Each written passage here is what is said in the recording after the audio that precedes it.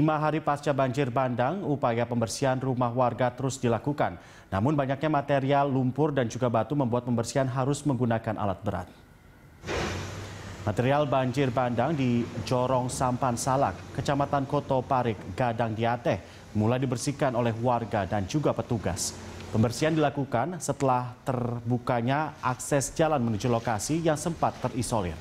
Satu unit alat berat juga dikerahkan untuk mempercepat pembersihan karena material lumpur dan juga batu menumpuk di sekitar rumah warga.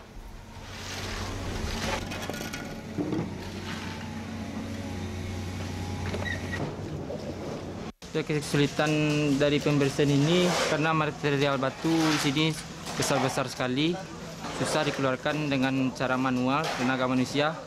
Untung dibantu dengan ekskavator yang untuk hari ini alhamdulillah sudah bisa dibersihkan dari kamar kamar rumah atas nama jurnalis ini sudah bisa dibantu sama-sama TNI Polri tadi.